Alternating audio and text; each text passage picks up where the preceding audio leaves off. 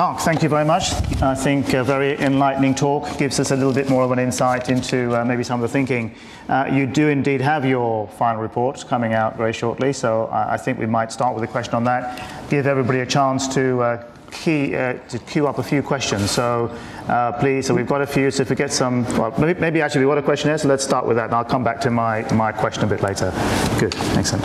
Tim Decker from HSBC. Mark, you talked about, uh, or you likened banking in some respects to a profession, like the medical profession. Um, one of the things that's lacking in our profession is a, a common educational professional standards. Is that something that your reports are considering?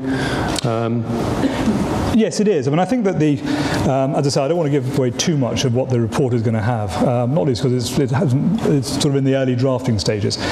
But um, when you look at a bank, I mean, one of the arguments that the banks present to us is that you have an awful lot of different types of businesses. You have investment bankers, merchant bankers, you know, all sorts of different people within it. And yet, at the end of the day, a bank has a common set of, uh, of, principles. You know, what is a bank? A bank is actually ultimately just a balance sheet with, uh, with customers on either side of it. But there are certain things which are important that I think everybody who works within a bank should understand. You know, what does it actually do? Why does it perform an important social function? You know, how does it go about in the broadest sense delivering that function? Why is it important to have customers and not just simply proprietary trade? That type of very, very basic stuff provides a commonality across the, the whole of the, of the piece for banking, irrespective of what part of the, of the institution you work for.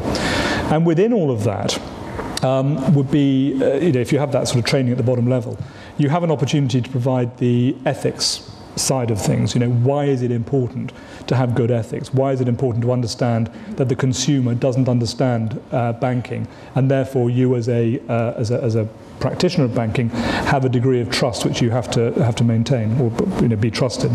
So I think that commonality is very important. Obviously, from then on afterwards, you will have you know compliance exams for compliance officers.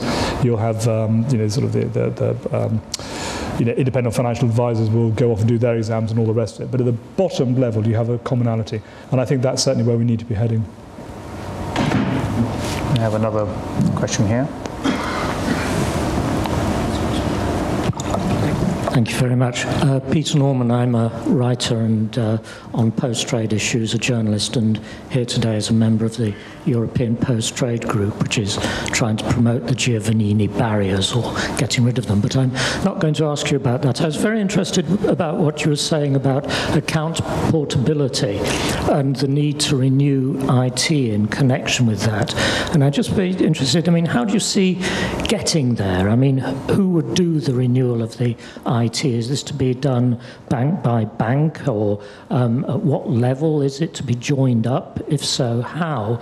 And given the very dubious um, uh, achievements of Britain in renewing IT, not least at um, government level over the last mm. decade and a half and more, I mean, would it work? Well, Vocalink are the people who, who deliver the infrastructure. Um, and so Vocalink will, will need to be working on that to deliver it.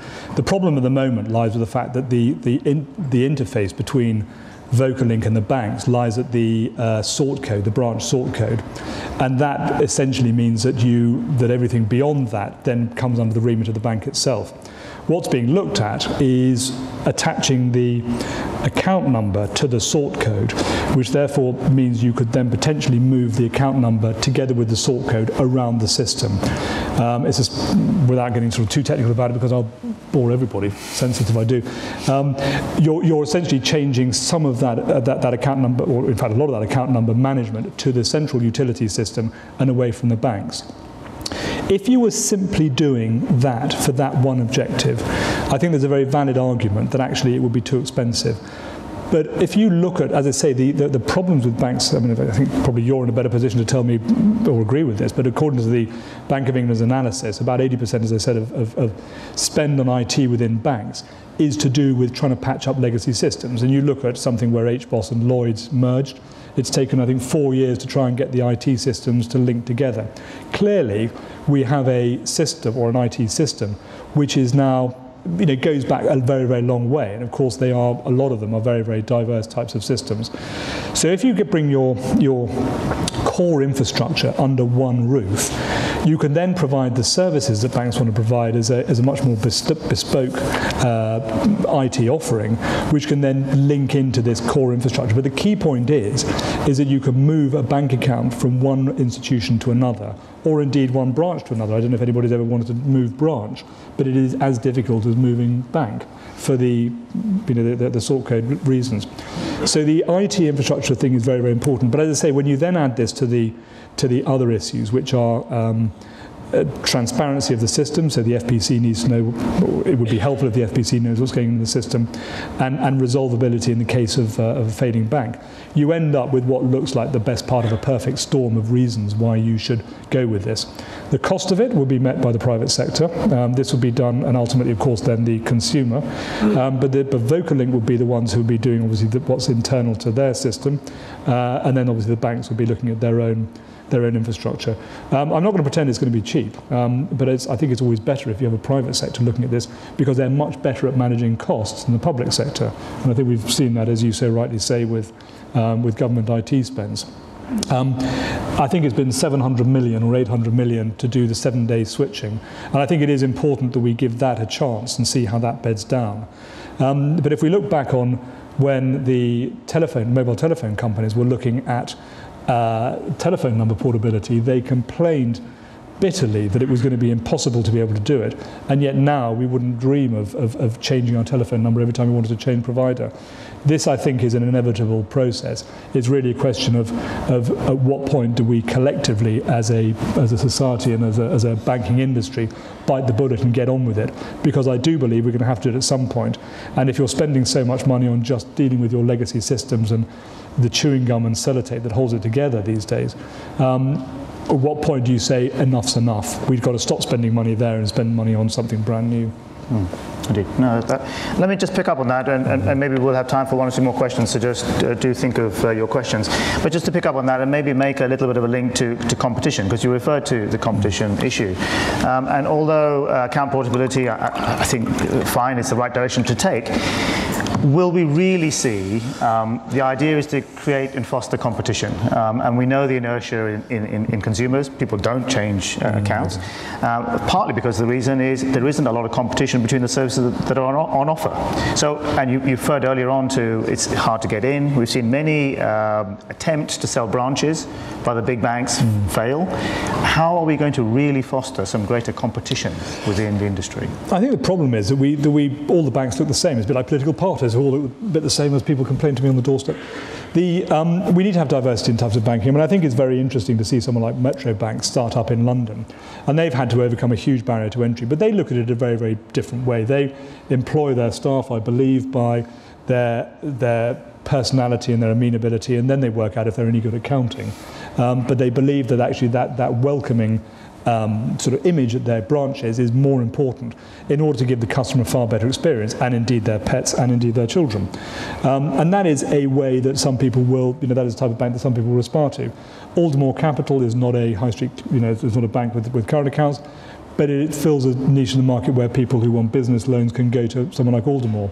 Um, at the high end, you have people like C. Hoare & Co. or Adam or Coutts or whatever, where you have these kind of quasi-private banks, um, which are there for the um, for toffs, I suppose, who want to feel exclusive. Um, at the other end, you have the building societies, uh, and you have the co-op. What we need is more diversity in the banks. We, what we don't need is more Lloyds, more HSBC, more you know, Barclays. We need more diversity. We, and, and I believe that there's a lot to be said for regional banks who understand regional uh, dynamics um, and go back not entirely to a sort of Captain Mainwaring type of model, uh, because I think we all do hark on for those halcyon days mm. slightly with rose-tinted spectacles. But I think we do need something that is slightly different, that is going to respond more to what people's needs are. But I do think it's incredibly important that if we're going to provide all this diversity and provide all this competition, people need to have the understanding of what this is all about. And this is why financial education is so incredibly important. There's a question here. Yeah. I was listening to uh, a number of your debates on the Parliamentary Commission on Banking Standards. Uh, this is to do with the trade-off between innovation and regulation. Um, if you look at faster payments, uh, account switching and mobile, they are all uh, not regulated. They were actually by a big stick by various people, OFT and yourselves and others. Uh, the faster payments in particular is looked on by in great admiration by most other countries in the hmm. world. As you may be aware, Australia is introducing something called RTP, which is an immediate payment type thing. Singapore, Ca- Canada's looking at it. So if these things were that bad, then actually other countries wouldn't be saying these things are, you know, good. It's clearly they're good. So the the, the, the idea of introducing a, a payments regulator, do you not think that will not only um, potentially introduce planning blight into the UK for two or three years because it's going to take you time to work that through how it's going to work. There's a consultation paper now. But secondly, don't you also think that it will actually uh, have the, the, the unintended consequence of stifling innovation when at a time we're actually expecting more innovation in payments from new entrants, etc.? I think that's an incredibly wise and perceptive question. Um, I think the first thing is, is you're absolutely right. We are very good at what we do in this country, and I think sometimes we spend too much time knocking it. But that's not to say that we shouldn't be striving to continue to be better. The last thing we want to do is to find ourselves complacently thinking we're the best in the world and discover that the rest of the world has caught up and passed us. So we do need to be driving things forward. Um, with regards to regulator, you're absolutely right. I mean, a regulator could come in and, and, and do exactly that. But that's a job of things like the Treasury Select Committee and, and Parliament to, to, to keep an eye on this. And it's incredibly important that the, the banks uh, and people who want to come up with this innovation keep us in, in, you know, informed with what's going on. Um, ultimately, Parliament can't turn around to the regulator and say, no, you have got this wrong, we will overrule you, because the whole point about an independent regulator is they're independent. Um, and actually, you would hate it if Parliament re- responded to every single complaint about something's going wrong, because you would have such an unstable regulatory regime, it would be too difficult for anybody to manage and would drive away competition for that reason. Um, but nonetheless, um, holding the regulator to account is, is incredibly important. We are you know, going through a period of change anyway. We've got, we'll, we have a payments regulator, we've also got the FCA and the, and the, uh, and the PRA coming through, and we're waiting to see how they bed down. We are in a period of extreme regulatory churn in this country, and actually globally. There's an awful lot going on, and it is making it very, very difficult for people to, um, to plan for any sort of long-term future you know, prospects. Um, there is a big question on this: is do we wait and let this bed down and then bring in another regulator in a bit in the future, or do we just mash it all up together and, and get on with it now? It's an incredibly difficult question, but my advice to, to all of you is if you think something's going wrong, for goodness sake, get in touch with, um, with the Treasury Select Committee, your trade bodies, and, and your local members of Parliament, because we, we can bring some pressure to bear on the regulators. I think we've got time for one more question. Um, gentleman here.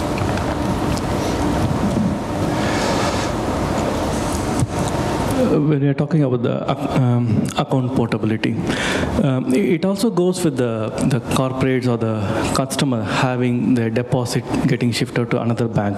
Is it something like uh, you know, like a share market? Like you know, it's basically bank depends on the you know, amount of capital. So if people start moving from one bank to other bank with their capital, is, is there any kind of control? Because uh, those people can have a, a certain kind of uh, implement control over the bank, the way they exit, because there's a uh, instability uh, is possible. How that can be controlled? It, it, again, a very, very interesting question. The, the, the essence of your question is, is could you effectively have a run on the bank by switching accounts? And if you can do overnight switching, could you, I mean, and could you create a run which has the effect on the capital? Uh, that is one of the risks, absolutely. And in the modern day with, uh, with modern um, you know, communications and Twitter and Facebook and all this kind of stuff, um, you know, potentially a run on a bank could be generated um, instantly or very, very quickly through a Twitter feed. Um, the question is, uh, really, is it going to be any different having full account portability, sort of overnight account portability? Is it going to be any different from actually people going along and withdrawing their money uh, as quickly as they possibly can? Um, it may not be the same, but it is, it is absolutely a risk. This is something which the Financial Policy Committee needs to be looking at in terms of, in terms of st- systemic stability of the banking system, um, and, is, and is part of the big mix which they have to look at. But it is, it is a very, very fair question. Mark, thank you. Um, I think I will stop it there. Uh, and thank you, Mark, for taking time out of an incredibly busy day. Um, I think that hopefully gave a little bit of insight and, and helped the dialogue uh, between the, uh, the, the Westminster end of the city and the city end of the city. So uh, uh, thank you very much for your time, and please uh, a, a warm round of applause for Mark. Thank you.